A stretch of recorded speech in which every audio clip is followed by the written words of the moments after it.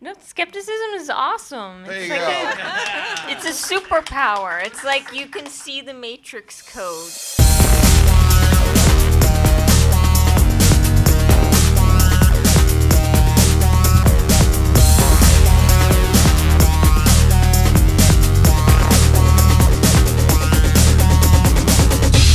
All right, so uh, I think this was Blake's idea. No, I believe it was Eve's. It was Eve's. You're you're be shitting me. I, I'm not beshit. She could tell you all about that word Yes, and it's- more because that's what she does. Thank you. She's a medievalist. Thank you. Um, so I'll let her talk all about what we're doing here now, a little bit later. All right, one more time. Good evening. Uh, welcome to the Ghosts and Vampires Classifying the Undead panel.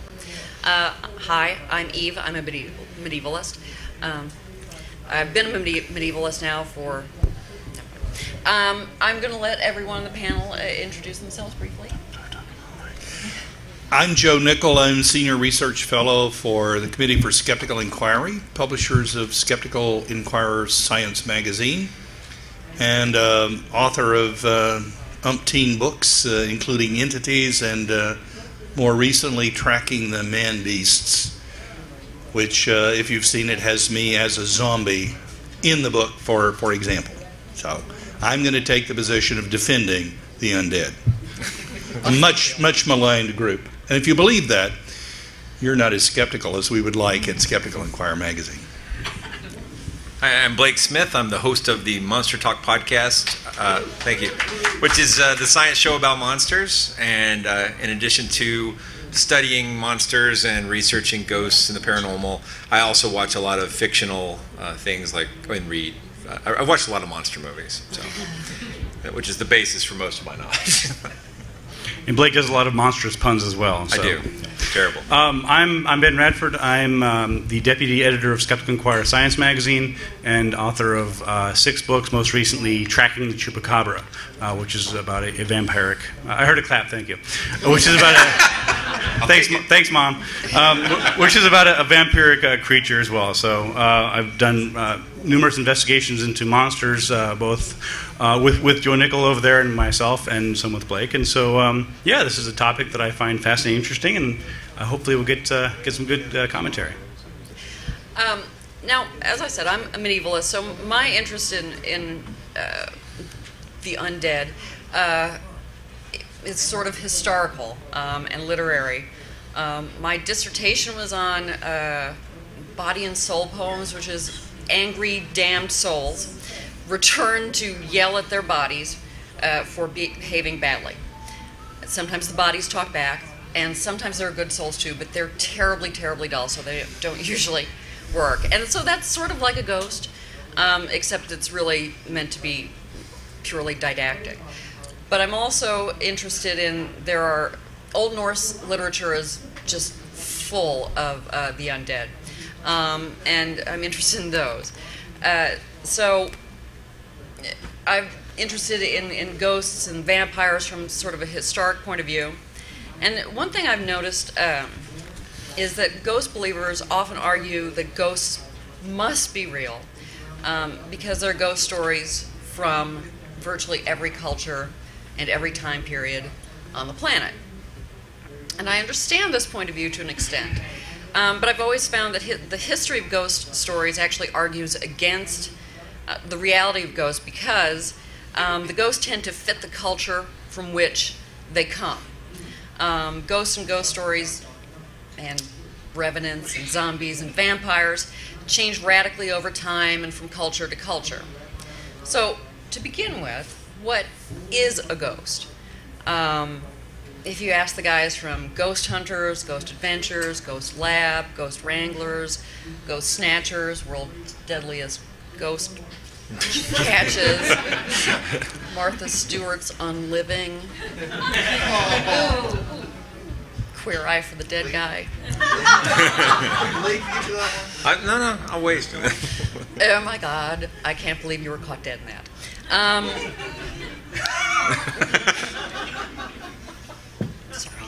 Um, they'd probably say something about energy. Um, and this isn't entirely surprising because the culture um, modern ghost stories come from sort of combines uh, New Age with uh, which is like science, but not really. Um, now, Wikipedia offers a more traditional definition, quote, the soul or spirit of a deceased person or animal that can appear in visible form or other manifestation to the living, unquote. And probably most people would agree that ghosts are generally insubstantial. However, um, there's already problems with this description. Often ghosts are invisible, but sometimes they can be seen, sometimes only as shadows, but sometimes as full body apparitions. Um, sometimes they're solid, sometimes they're transparent.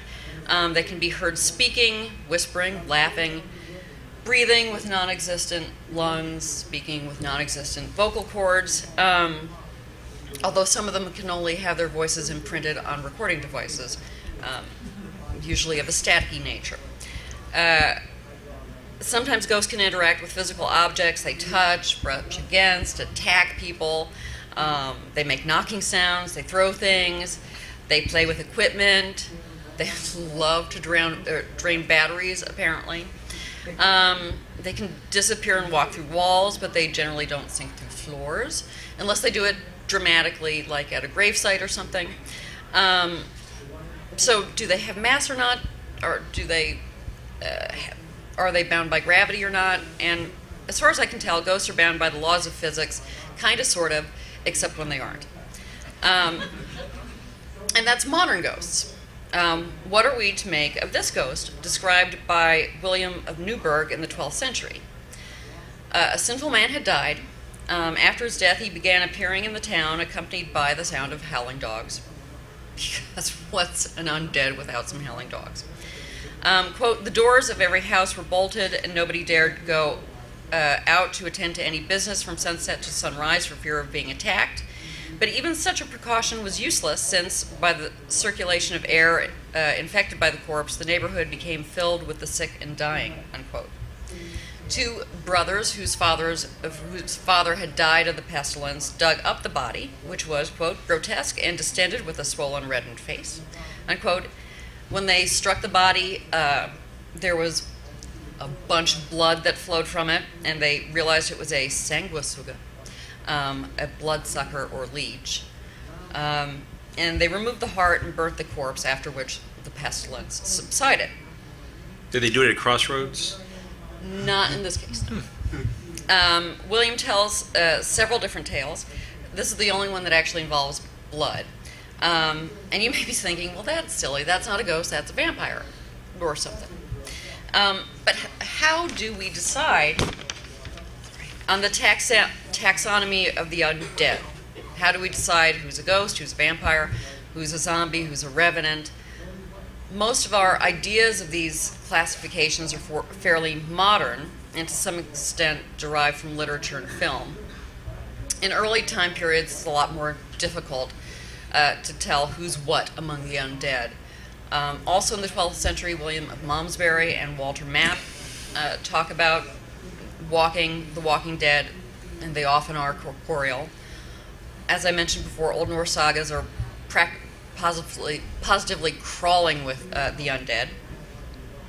And although there in Norse there are several words for such creatures, in English it's almost they're usually uh, translated as ghost, even though they are almost invariably uh, corporeal.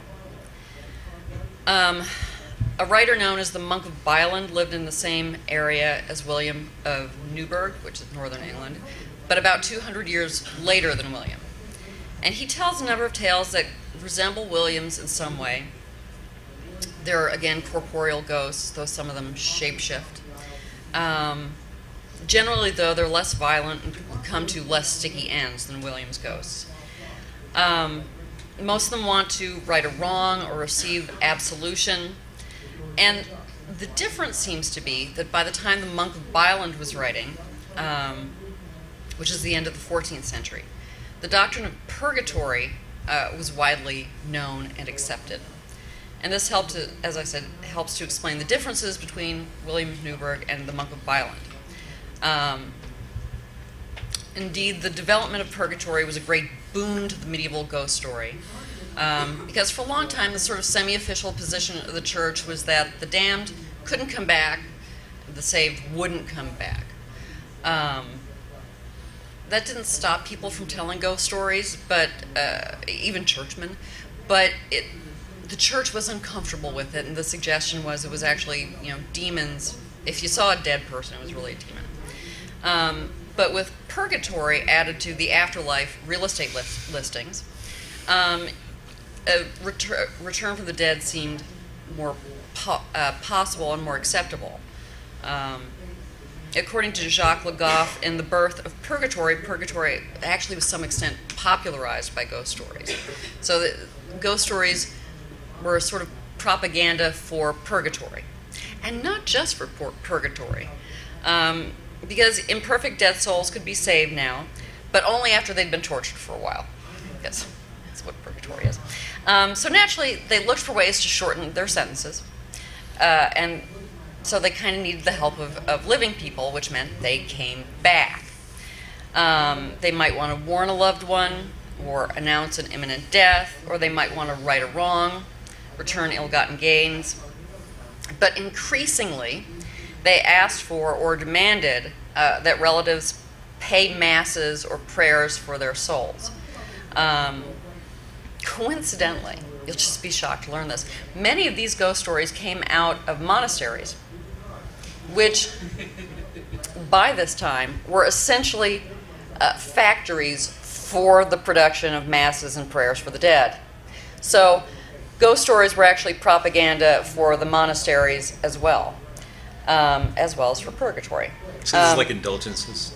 Exactly. Okay. Um, the pray for the dead, they get time off from purgatory, and often, you know, the dead would come back at the end and say, "Oh, thanks," um, and go on. That's that's good. So, so, so after someone's been prayed out of purgatory, Mm-hmm.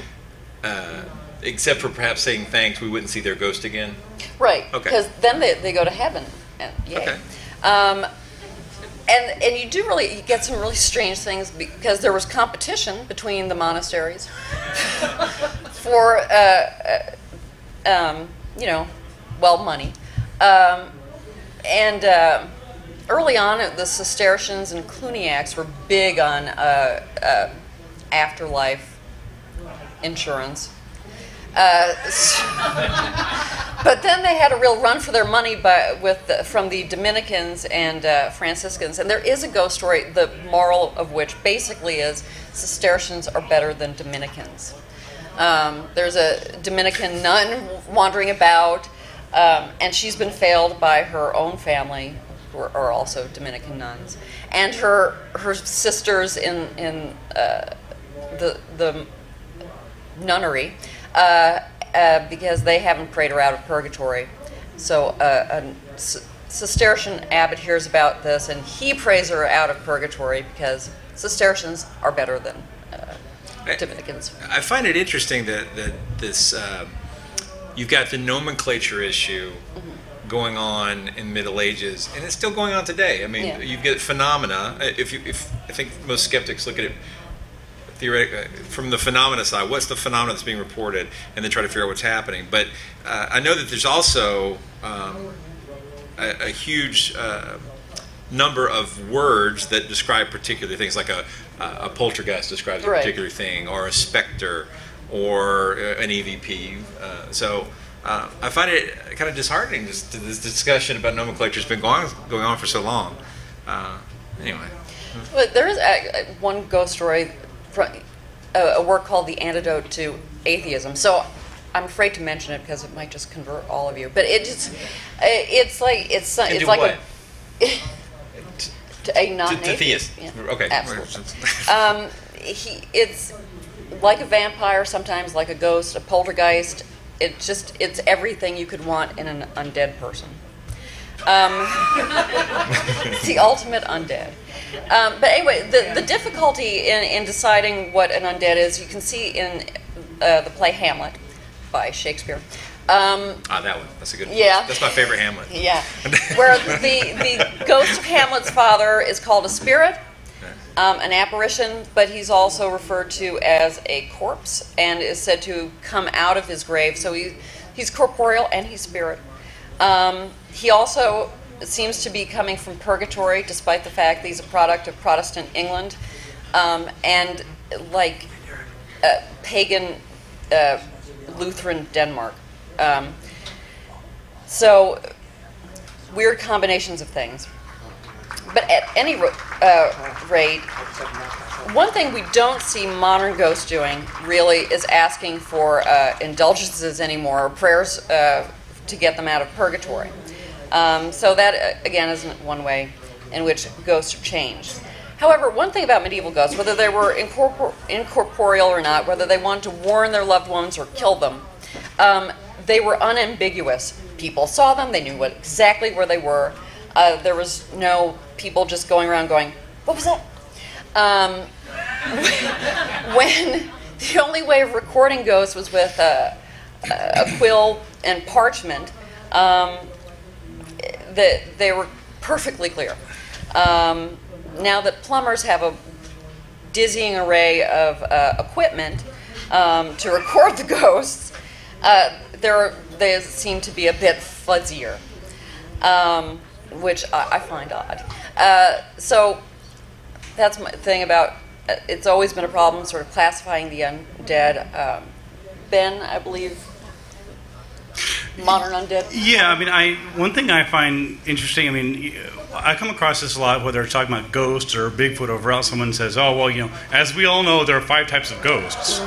like, really? We we all know this? You read this where? Uh, or even even within Bigfoot. I mean, there's uh, there's variations of Bigfoot. There's skunk apes and yowies, and where you are, and regional variations. And so, part of the problem is that you know, when you when you talk to some of these these experts on, on, on ghosts and, and, cryptozoological things as well and, and writers is that they they they get so involved in in going down the wrong path like well you know you know these are the different types of ghosts. There's residual ghosts and there's ghosts that are lurking because their deaths were unavenged and this and that. And and they're so busy categorizing these things that they're not looking at the they're not examining the assumption and the premises you know like, well first let's make sure these things exist. And then once we've established that then we can go on and figure out how these things, you know, would be categorized in some uh, taxonomic, you know, uh, schema. Um, so in, in a way, and the subject to me is almost like asking how many angels can dance on the head of a pin. Uh, I mean, you can categorize ghosts however you want to. Uh, I think that the, the, the, most useful one is, is through a folkloric point of view.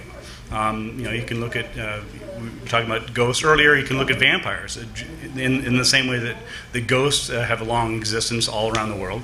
Uh, vampires are also known globally, dating back to the ancient Greeks, in fact. Um, virtually every culture in the world has some variation of some entity, uh, either, either demonic uh, or that was something that was never human, or a revenant, which is basically uh, something that was human became a vampire but some variation of that that either that drained a bodily substance, either energy or blood or fat or something else like that, from the people. So again, as she was talking about earlier, just because all different people around the world have some regional variation of this doesn't necessarily mean that they're talking about the same thing. In fact, the, the very fact that, that, many of these things are culturally bound uh, really strongly suggests that, that that, that there isn't uh, there isn't one phenomenon that everybody's describing. So, um, and one other thing when you were talking about uh, the purgatory, mm-hmm. it's curious because there there are elements of that that still exist today. For example, uh, I've talked to a lot of ghost investigators, and particularly psychics. Uh, who believe that they are that they are helping ghosts to move to the other world. So there, there is this there is this notion that that if there's a, a, spirit in a house or in a haunted location, the reason they're there is because they need human help, particularly this particular psychic's help, to sort of like look towards the light, no, the other light. Yeah. No, go. It's good, you know. And they, they go through this whole like you know very emotional thing, and I'm helping. And I've talked to people, and it's fascinating. I, I watched someone like over the course of ten or fifteen minutes who I believe they I believe they sincerely and genuinely believe that they just helped a, a poor, helpless spirit into the next world. And they're like, hey, this is awesome. I, I did a good job for the day. You know, let's go get a beer. I'm like, th- all this happened in your head. So it's so I think it's interesting because again, part of that whole notion of of a transition uh, still uh, still is, is retained in some of the modern ghost investigations and, and hunters. Yeah, so uh, the uh, woman who's famously known as the ghost whisperer, uh, for example, as Catholic upbringing, and she she sees her role as bringing uh, spirits to the light and helping them cross over. So she's not connecting with people, you know, in, in the other world, but sort of this world who are trapped, and she helps guide them to the light. And I've I've studied uh, her background and her approach, and I'm convinced that she is uh, clearly what's called a fantasy prone personality. That is a, a perfectly sane and normal person, but they're sort of over at one end of the imaginary imagination uh, spectrum, and they uh, vividly see entities and uh, and imagine things and have. Uh, as children, maybe imaginary playmates, they grow up to have, uh, you know, contact with the Virgin Mary or or ghosts or something, and they're a special they're a special breed. Um, I, I might comment too on um, a couple of things that have come up. One is the idea that that there are many different kinds of, of ghosts and kinds of uh, other uh, supernatural entities, and I think some of that comes about because people are. Uh, describing contradictory things. And so, if sometimes a ghost does this and sometimes a ghost does that, well, maybe uh, instead of saying that's a contradiction and that really just shows that it's all folklore, no, it, it shows there are two kinds of ghosts, you see. And uh, uh, one more point when we talk about ghosts being seen around the world and every culture having them, there are some recognizable mental states that occur in humankind.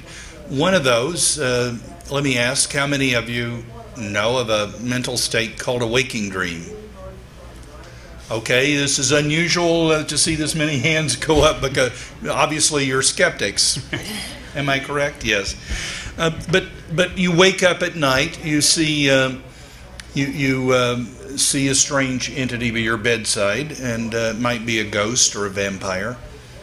And this is because you're in the state between being fully awake and fully asleep, and you're in a, you're actually hallucinating, and that's common. We can track that back in the Middle Ages to incubuses and succubuses. Today, uh, alien abductees are saying how they woke up and they saw aliens beside their bed. So we're tracking a similar phenomenon, but it's changing uh, culturally and psychologically.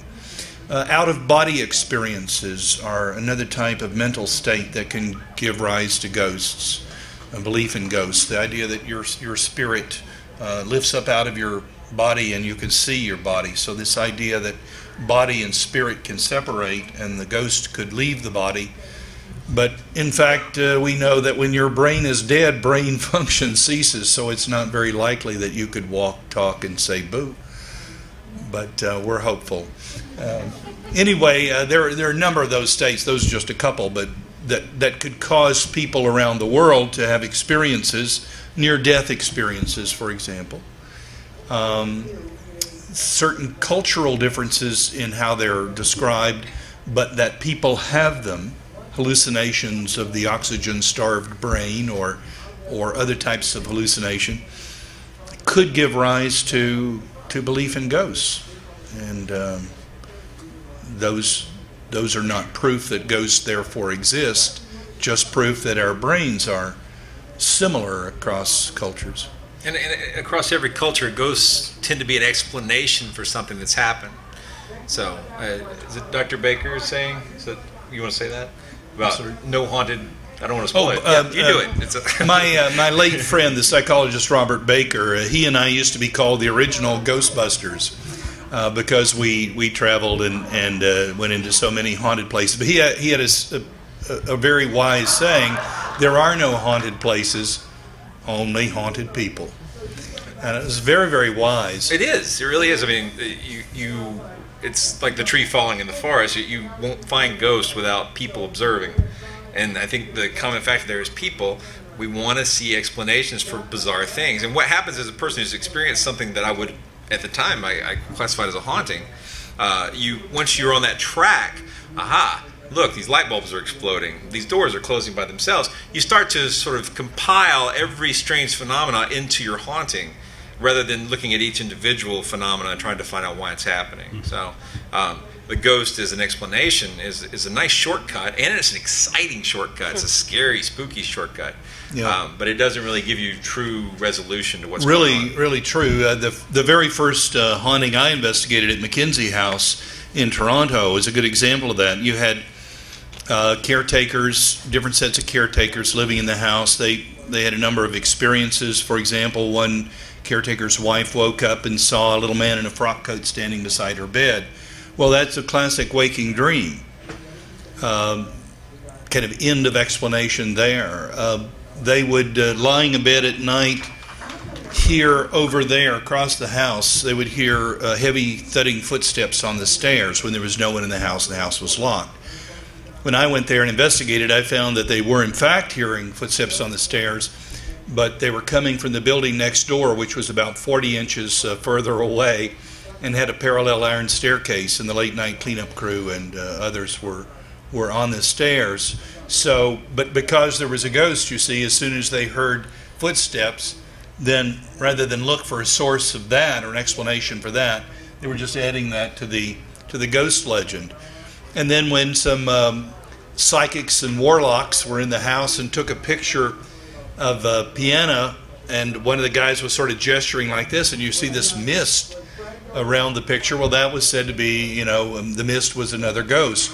But all it was was the the flash of the camera, and you can see the strong lights and shadows and glare in the picture. You can determine that it was a flash picture, and you can see that the flash simply bounced off the white pages of music and washed out an area of the photograph. So.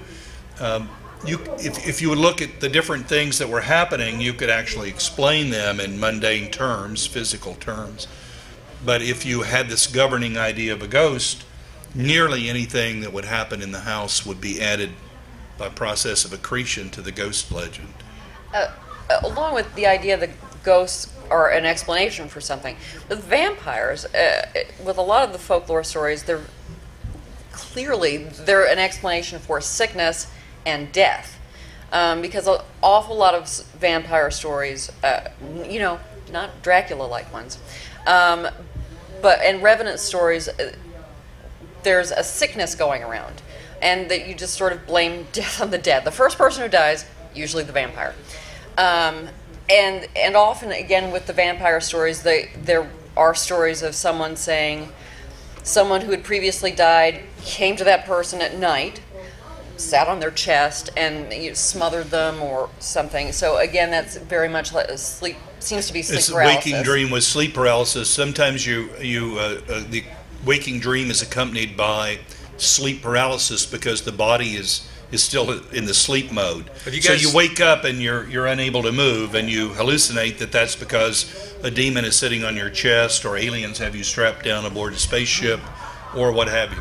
Have you has anybody here had that sleep paralysis? Yeah, I, have had it too. It's very scary, scary. I understand. Yeah, it's very scary. So it really feels like somebody's on top of you. It's quite but, creepy. Yeah. But that's that's true. I think about the the vampires and and uh, some kind of uh, epidemic because I uh, was interested in American vampire lore, and there are a number of interesting cases. For example, in Vermont. So I went there, and I visited the actual graves of these uh, vampires talked to local historians, dug up records, and so forth. Had a, had a very interesting time doing it. And invariably, these had to do with uh, um, tuberculosis, consumption of the day. Someone was, was dying of consumption, and then someone else would be stricken with, with this contagious experience. They would have a pale, a pale look. They would be coughing up blood uh, so a number of the, the characteristics of consumption could be could be shown in the descriptions, and th- this idea of contagion was was um, being laid onto the vampire, but it was it was a real contagion. So it again it was um, in this case these were these were real cases of something happening, but they weren't understood medically very well, so they were explained folkloristically. They were explained as with the myth of the the vampire. Yeah, they didn't understand illness, and they also didn't understand uh, what bodies were supposed to look like after. They didn't understand the process of decay. So if they dug up a body and it, you know, wasn't basically a mummy or a skeleton, they went blah vampire.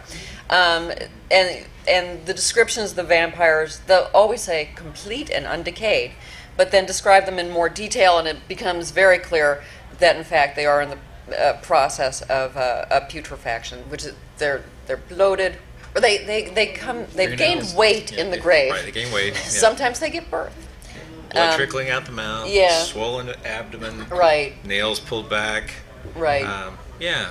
Which is actually interesting because it- it's important to, to realize that the, the characteristics of, of an alleged uh, vampire case are much more specific than the characteristics of a ghost.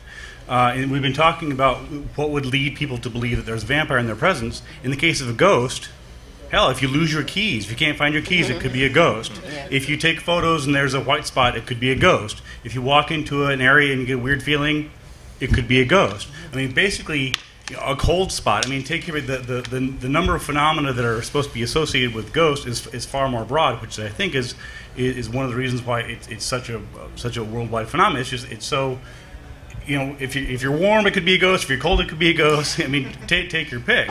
And I think this goes back to the whole notion that when I've talked to when I've talked to done investigations, I talked to, to ghost hunters, and it, they they seem to think that ghost is an explanation.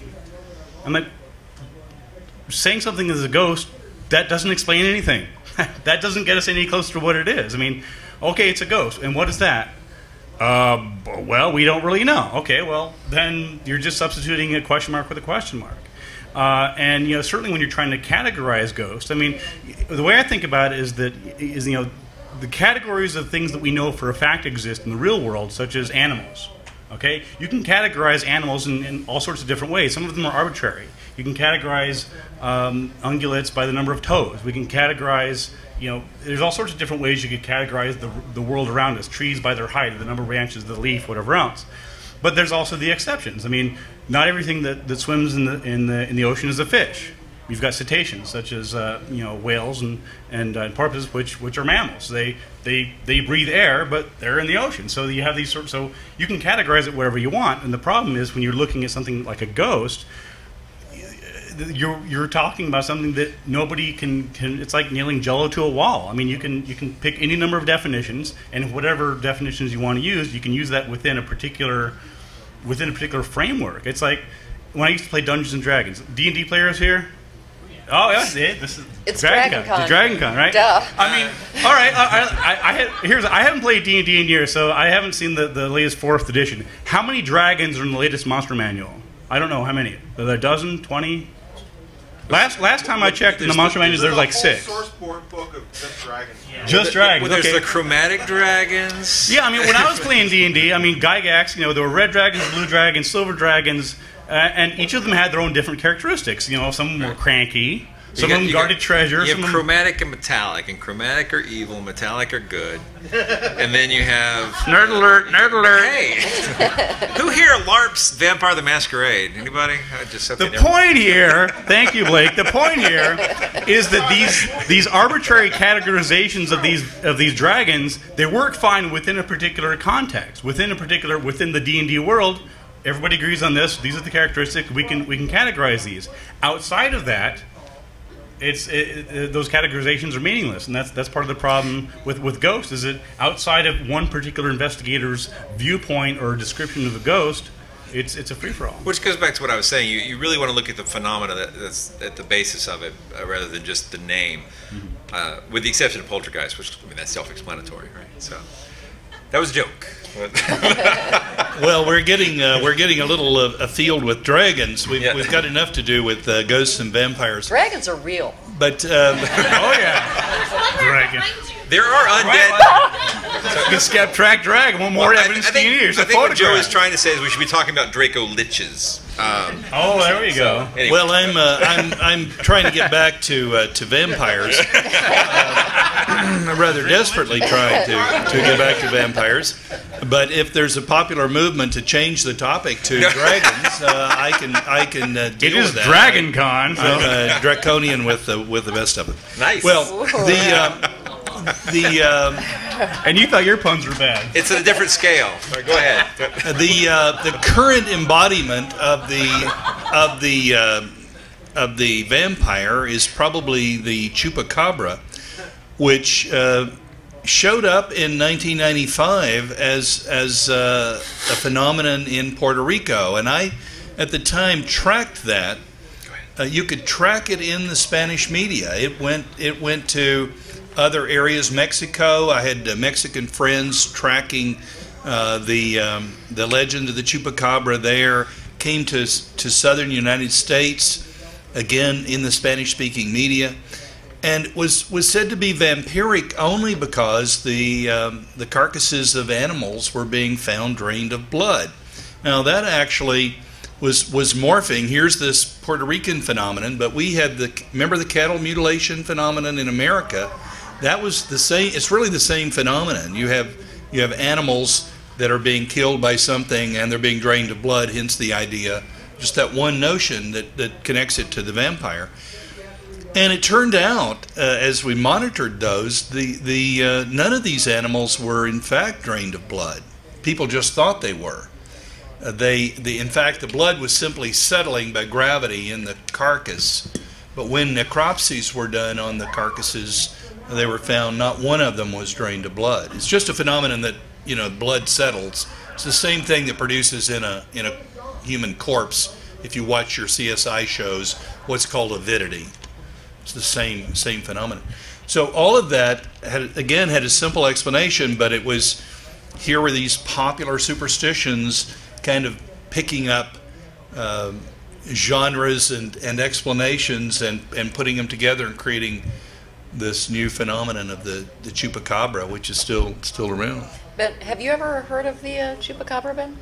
I, I I spent co- I spent about five years on it. I, I heard something about it. Yeah. Uh, uh, what- I mean, what's interesting to me is that is that you know within the context of the discussion of vampires is that is that you know as I as I trace back in the book, I mean the the the, the chupacabra is a uniquely um, uniquely Hispanic and Puerto Rican vampire. It, it comes it, it draws from broader tradition, including uh, European vampires, as we've talked about before.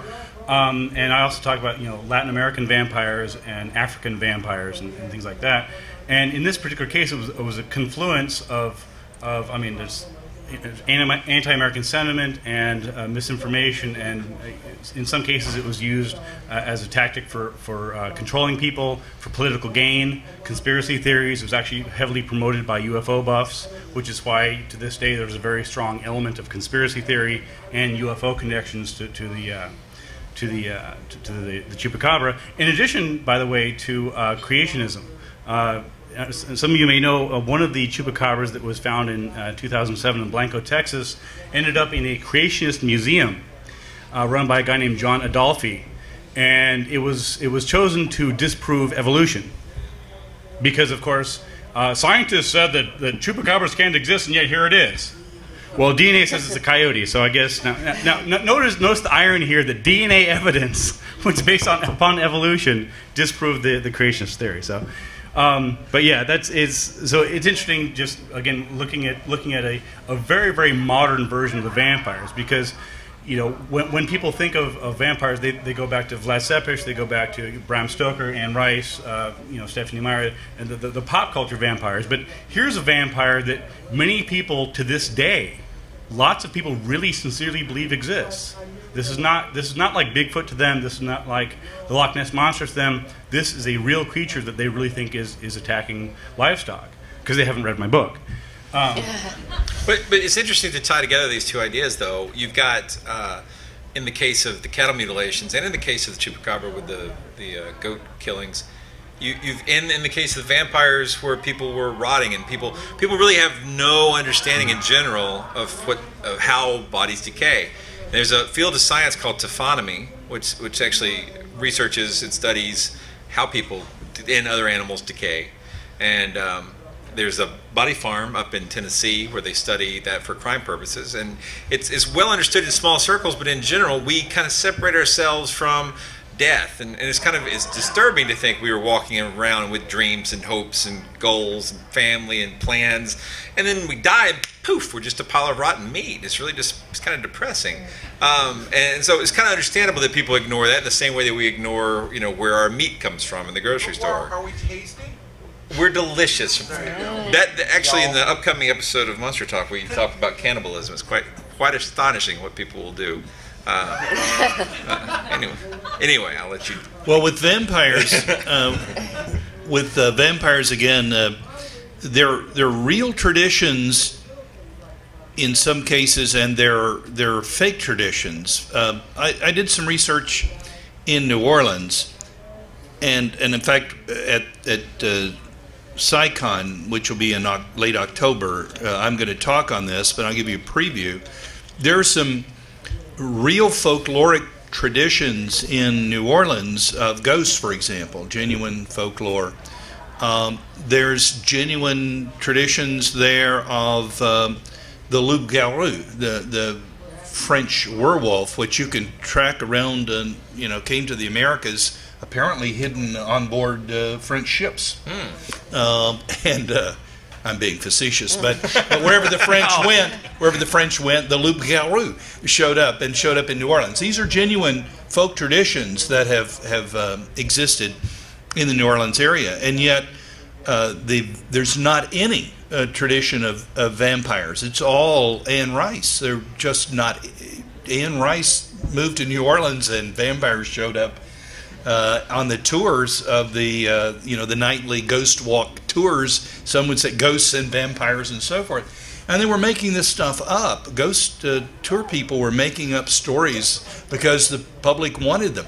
One tour guide that I hired for the day to take me to some specific shop, uh, specific uh, graveyards, give me an audience with a voodoo queen and so forth. She told me a story about uh, one person on, on one of her tours uh, cemetery tours uh, wanted to know where such and such a grave was, vampire grave, and she tried to explain to her that that was fiction. It was just in Anne Rice's book, and the woman would not be. No, no, she said, no, no, that's that's real. That's that was based on that's real, and could not be dissuaded. So sometimes the fake lore can be more powerful than the folklore. Yeah, it's and to talk about New Orleans, we have to talk about zombies. They're another undead, right? So, Absolutely. um, so we've and got there are plenty of them uh, here this weekend. There's a I've lot of zombies a lot here, Of yeah. zombies. And of course, of course, I mean, it seems like uh, by just sheer numbers that the Romero style zombie is the more popular one around here. So uh, I'm not sure. I guess it's because they're more dangerous. Uh, so you've got a, a traditional voodoo zombie is more like a, a slave. Yeah. It's a lot like a slave, and from a culture uh, of Haiti where slavery was well known, it's not that surprising that this sort of uh, spiritual slavery developed as a kind of folklore.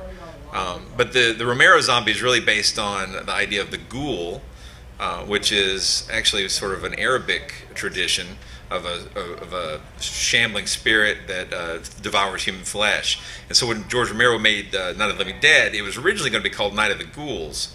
Um, and he never really calls them zombies in the film, but but the Romero version version's taken off with it's got a tremendous amount of popularity. I guess they're filming uh, The Walking Dead right now in Atlanta, and uh, I'm a big fan of zombies. But I do I think I think it's very interesting the dichotomy between the traditional folkloric zombie and then the way the pop culture zombie has sort of just pushed that out and replaced it. Uh, I'm not sure why, but it's. Well, I, I think it's because you know if, if if you have zombies who don't do nothing but slowly harvest sugarcane, Whoop, it's be not that. terribly interesting. Like, no, no, No, no, please you're don't right. don't harvest that sugarcane slowly.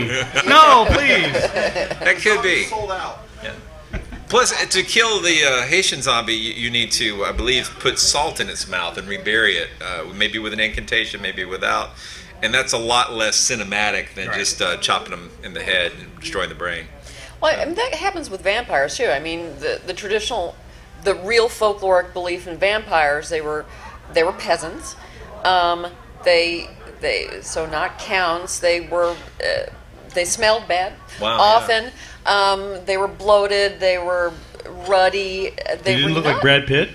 Not so much. Or, or, uh, Eh, or okay. Pamela. well, possibly Brad Pitt after he'd been dead for quite a few weeks. So I mean, they were unpleasant. They were walking- unpleasant monsters, right? Right, right, basically right. They were not unpleasant- sexy. Yeah, no. Right. Although sometimes uh, th- they're they were interested in the sex Oh, okay. themselves, uh, but uh, not uh, the the women weren't throwing themselves at them. Right, Uh, right. So I, guess that's a Stoker invention, I believe, that the sexy, seductive uh, Yeah. vampire. Yeah, Well, him and there. Polidori. Oh, uh, up, up, up. Yep, yep.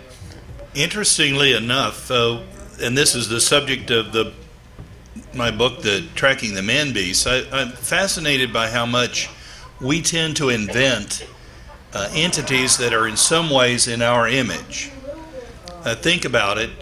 Bigfoot is our stupid cousin from the past, a sort of throwback, uh, hairy uh, uh, man ape creature who's almost the very symbol of the endangered species. And looked at another way, the extraterrestrial, the typical little big eyed, big headed humanoid, is a futuristic version of us who's come back in time to the planet Earth to help us deal with what we've—the terrible things we're doing to our planet. So these are versions of us. Uh, you can see uh, ghosts as transparent versions of us. Angels are us with wings. Um, vampires and werewolves are us with an attitude. And so, why are why are we inventing these things in, in our image? And and I think it's because we we are central to our to our own concerns, and we we invent these these things in our image because that's what we're concerned about. We're let me let me give you just one last idea that I think is important. When when I talk about mythology, most people think of the ancient Greeks and, and Romans, but we're watching right now in our own time. We we are watching the burgeoning mythologies of Bigfoot and and alien beings and if, if we define mythology as supernormal beings interacting with humans in ways that are cosmically important, we have a, a rich uh, mythology developing right right before our eyes, and that's worth studying. Um, I don't know. Perhaps we have a little bit of time left. We want to open uh, to questions. Anyone have any?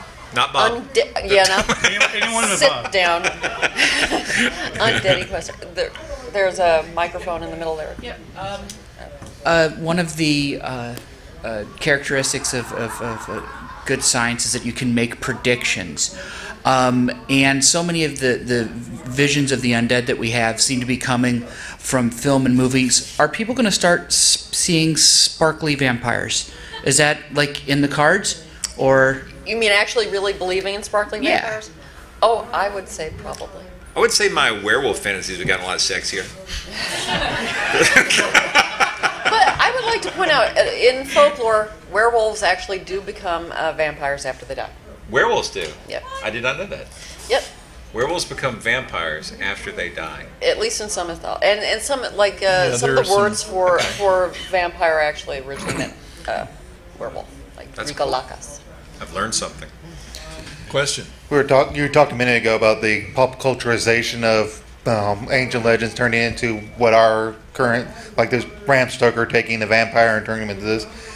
Do you find it frustrating trying to research the old legends, or do you find it fascinating in that watching them get changed by different attitudes? Well, Yeah. You want to start? Yeah. Uh, uh, I was well. I- was just gonna say, going back to Old Norse, which I'm interested in. That's an interesting sort of intersection that that it is folklore, mythology, but it's also literature. Um, you know, in, intentional in writing to write a good story. So there's been a, a mix of the the literary uh, and, and uh, so sort of pop culture and uh, real folklore for a while. So I'm okay with that. Well, I, I I personally find it quite interesting. I think the uh, my, one of my hobbies is etymology, and and word usage, word definitions change over time, and pretty much everything about us changes over time, with the exception of our core focus on humanity, as Joe was saying. Uh, but I, it doesn't bother me to see things metamorph and you know change over time. Uh, and those influences of pop culture happen so dynamically now in this age with you know modern technology that we have. Uh, so it's really difficult to predict how it's going to impact things in the long run. Um, but it doesn't bother me. It just it makes it a lot harder to get down to what the case zero is in a lot of cases uh, for modern things, uh, just because there's sort of this echo chamber on the internet. But uh, if you're researching older stuff, thankfully paper tends to stay kind of static, so that's good. You can watch these entities um, um, morph and, and evolve uh, right before your eyes. Uh, is everybody familiar with Mothman? Um, Mothman originally was seen by a handful of people, including a woman named Linda Scarberry. And uh, I did extensive research there, including some updating with uh, Monster Quest. But, but I've spent quality time there, and I'm, I'm convinced that what Linda and others saw was a barred owl, which looks exactly has the large red eyes and the and the winged uh, uh, configuration. It's only the size that's at issue in the early in the early descriptions. She could be describing a barred owl, and it is the place is a wildlife sanctuary filled with barred owls. So I, I almost rest my case right there. Uh, except they just saw it as bigger, and that's partly, I think, the fear factor and just at night not realizing the distance and misjudging the height. But over time, Mothman began to change, began to look more extraterrestrial, had the wraparound eyes. There's a, a statue now of Mothman, and Mothman now has arms and wings. Well, this does not occur in nature. There, you either have arms or you have wings as a, as a creature. You don't have both. But and, I'll leave with just this one uh, irony for me. Linda Scarberry clearly described in the early descriptions. We have a written account of that she didn't see any arms on Mothman, and yet she herself, years later, uh, described the, the those muscular arms. She too had been influenced by the comic book versions and all the other stuff that had happened, and so you've got creatures that are morphing right in our own time that we could watch. So of course this is happening all through culture and all through history. Uh, these creatures are morphing, and I think that's that's fascinating to watch and to understand. And and also you, the point about wings and arms, dragons, wings and arms, not real. Well, I just finished. I'm, I'm glad you put that in, Blake. Uh, I was waiting to because I've been, been concerned about Beowulf. that. I wanted to bring it back. all true. I, I'm going to differ with Blake in that I do find it annoying, uh, frankly, because um, be, because having as someone who has researched the historical background of zombies and vampires and these sorts of things, it's interesting enough as it is on its own merits. You don't need to inject. I mean, if you love Anne Rice and Stephen King, uh, that, Stephen, I, great, I, that's all well and good. But don't pretend that that is part of the historical fact, of the background of this.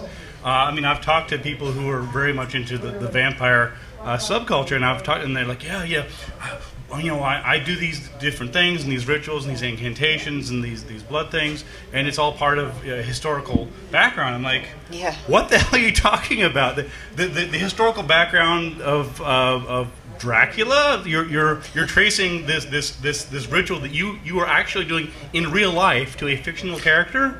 I mean, just just so you understand. So, I mean, if they if, if they want to have their own fantasy world and they're play acting, that's fine. I'm not gonna whatever you want, but don't pretend Yeah, yeah, that there yeah. is historical authenticity Ben behind gets it. very upset about this stuff with vampires because he's a stakeholder.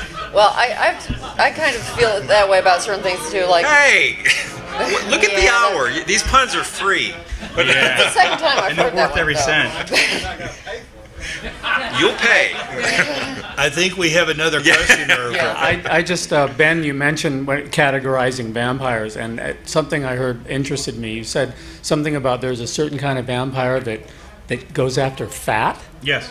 Well, Yeah. then, I, you know, there's something we can get to the media right away and really get some traction with, because if we can start starting a, an idea that there's a fat sucking way to lose weight, that you really are going to get some traction. Anyway, it was just That- about, so. that- what's that- the fat yeah, sucking? there's a caveat. I do discuss it a little bit in in, uh, in tracking chupacabra, but I, I investigated a this this particular fat stealing vampire. It's primarily uh, in Latin America and in uh, in the Andean mountains of South America, and it's called the likichiri. it's in the, it's in the book. Yeah, it's in the it's in the Okay. book. Um, and uh, I when I was down, I was actually in La Paz, Bolivia at the time. I, I investigated this and I interviewed an ethnologist in La Paz, and I asked him about this because I heard about this this vampire, And what Is it does- Donde está el chubby chaser?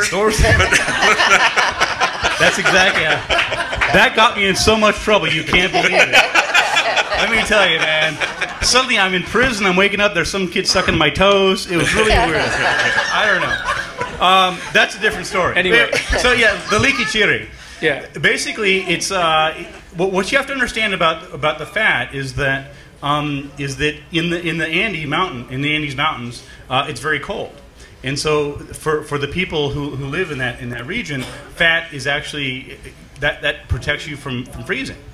And so, in, in the same way, for most of us, we're like, hey, you know, you can have some of my fat. Hey, there you Yeah, go. exactly. right? But but in that culture, within that context, uh, the the loss of fat is actually a very serious issue.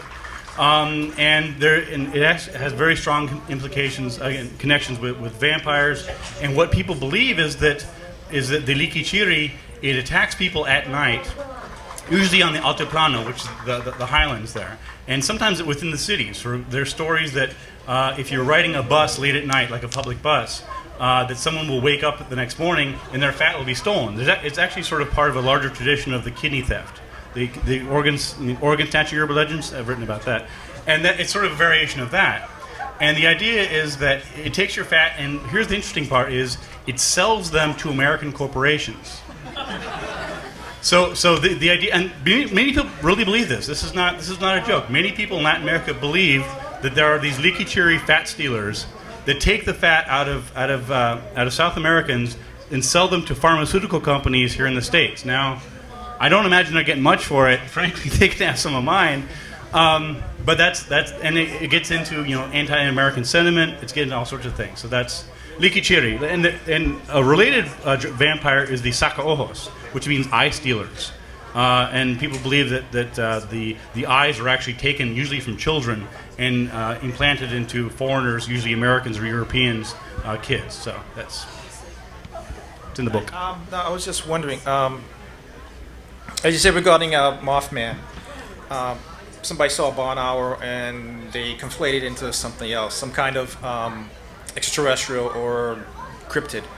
Um, do you think we should teach people how to observe things and how to just uh, think things through? If they see something kind of odd, kind of out of place, to just rather than freak out, just try to assess the situation. Because often, I um, a few weeks ago, the, uh, the the courts in New Jersey they they, they placed um, um, certain emphasis, um, well, not emphasis, um, regarding They, they, they talked eyewitness- about eyewitness testimony. Yes, eyewitness the role of testimonies because a lot of them are just not reliable. Right. Because you see something, you're you mean you're in a crime. You see something, you're not really observing that. Should, should there be some type of uh, curriculum or something to teach people? Well, I wish, of course, I wish we could, uh, in the schools, I wish we could teach some just basic critical thinking points like who has the burden of proof and um, Occam's principle of Occam's razor, which is useful all the time. But uh, these encounters, like Mothman or, or a predecessor, the Flatwoods Monster, also in West Virginia, which I investigated, and uh, people there probably seeing a barn owl, uh, simply a nighttime creature. Uh, the description of the shape of the face, the high pitched hissing noise, the, the fierce claws is just a classic, perfect description of a barn owl. But people, people who see something are caught often off guard. They're not preparing to see it. They have a real encounter that is something, they saw something, and their perceptions, they're just not very good in the being excited and afraid of what they've seen and not understanding what it is. Uh, it, it's, um, it's very hard to deal with because they know what they think they saw. Just as, you know, we people see a long necked, multi humped, undulating creature and that's a sea serpent or a lake monster 30, 40 feet long, what they may be seeing are otters, uh, three or four otters swimming in a line. It's very deceptive. And uh, it's very difficult to chase after people and convince them that what they saw, uh, they did really have a real experience. And um so we're not dealing with people who are hallucinating or who are drunk or who are liars. They have had a real encounter with some creature. Uh, and even when we can reasonably infer what that creature is, they don't want to hear it. To, to, per your question about should it be in schools, though, that that's a continuing issue for skeptics and skeptical activism, and lots of people in this community have tried to get uh, critical thinking courses added into the curriculum. Um, the James Randi Educational Foundation, I believe, is putting a lot more emphasis on that uh, as well. So you might want to look at that. And um, Sharon Hill, um, Sharon Sharon, Sharon's got a curriculum that she put together for her local school system. You could probably she's I doubt it on Twitter, uh, and- but there's there's a lot of resources that are have been produced and are available, but actually getting them injected into your school system is uh, kind of a challenge, and it's probably nothing that can be solved at the national level right now. The way school systems are set up, school exactly. It's like I there, are materials out there, and if there are teachers in the audience, or you know teachers who want to, c- come talk to us. Any of us can can sort of direct you in the right in the right place because Yeah. there, there is some material out there. There we need to be more, obviously, but there is you know. I did a, uh, education. I did a book for that express purpose called The Magic Detectives for for children, and it's been used in some cases in schools, and uh, teachers have used it. Uh, I've gotten of all my my books, I, I've gotten as good a feedback from the Magic Detectives as any, from parents and from children, including one child who wrote me. Uh, sending me a little homemade book that she had made said i hope you like my book as much as i liked yours but the, the, the idea of the magic detectives is I have real paranormal cases, about 30 in the book, filled with clues. They're, they're not made up, uh, they're, they're real, actual cases of Bigfoot and the like. And it has clues, and the, the child's encouraged to try to uh, solve the case, and then you can turn the book upside down and find out how the magic detectives really solved it. And so it's a fun way to try to teach critical thinking. But um, you know, we've, we've uh, not been able to get critical thinking in the schools. Uh, the, many times the local religious people will say, well, if you can question this, where will it lead? Um, pretty soon you could be questioning God. And they, they don't note- want critical thinking into the, in, in the schools. We, we've come to the end of our time, so I, I would just like to say vampires for critical thinking. I think uh, we, we know that. Uh, zombies for critical thinking. Yay, critical thinking. Thank you.